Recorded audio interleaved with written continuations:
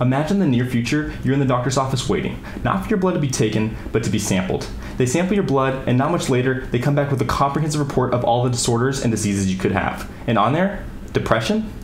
Hi there. My name is Roman Kuhn. I'm an undergraduate researcher in the field of bioinformatics where we use cutting edge techniques to analyze huge sets of biological data. My project's focus is comparing the gene expression levels of patients with major depressive disorder to the gene expression levels of patients with bipolar disorder.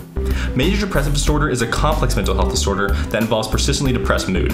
Bipolar disorder involves episodes of depressed mood too, but it also involves episodes of mania as well.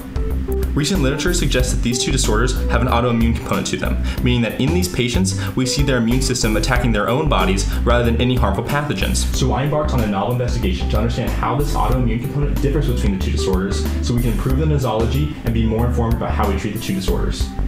We're working with whole blood gene expression data from both patients with major depressive disorder and patients with bipolar disorder. We sample from the whole blood region because whole blood cells provide insight to the immune landscape these cells and these sequencers to extract information about all the genes expressed in a person. But these sequencers generate a lot of data. Specifically, we're looking at more than 56,000 genes in each of our 75 samples. So we have to run our analyses on high-performance supercomputers like UT's very own Stampede 2. We look to see if the genes differ in their expression levels across the two groups using a technique called differential expression analysis. We also construct gene networks to see how the genes interact with each other. So what did we find?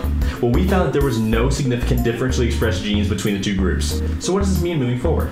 Well, our findings suggest that the mechanism by which the two disorders affect the body in the blood is similar. It also suggests that the brain could be responsible for additional differences between the two disorders. My research is a small but important step forward in the fight against mental health disorders and the promise of personalized medicine. We're on track to change the world, and it all starts here.